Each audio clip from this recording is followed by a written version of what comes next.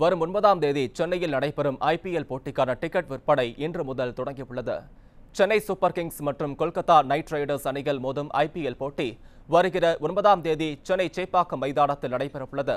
இதற்கான டிக்கெட் விற்பனை இன்று காலை ஒன்பது மணி அளவில் தொடங்கியதை அடுத்து ரசிகர்கள் ஆர்வத்துடன் டிக்கெட்டுகளை வாங்கி செல்கின்றனர் இந்த போட்டியை நேரில் காண்பதற்காக நேற்று இரவு முதல் வரிசையில் காத்திருப்பதாகவும் ஒரே ஒரு கவுண்டரே இருப்பதால் டிக்கெட் கொடுக்க தாமதமாகதாக கூறும் ரசிகர்கள் கூடுதல் கவுண்டர்கள் அமைக்க வேண்டுமென கோரிக்கை வைக்கின்றனர்.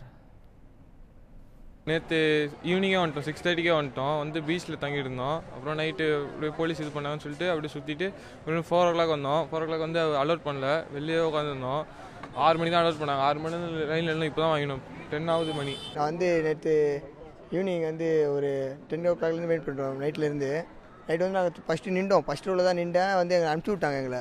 அனுப்பிச்சி விட்டு நாங்கள் வந்து பீச்சில் தான் படுத்துருந்தோம். பீச்சில் படுத்து இந்த கையில் தூவிலே பார்த்தீங்கன்னா நிறைய க்ரௌட் ஆயிடுச்சு. ட்ரெயினில் விட்றேன்னு சொன்னாங்க ஃபஸ்ட்டு அதுக்கப்புறமா அந்த பேரிகேடை திறந்து விட்டாங்க. எல்லாம் அங்கேருந்து அடிச்சுன்னு தான் ஓடி வந்தோம் எல்லாம்.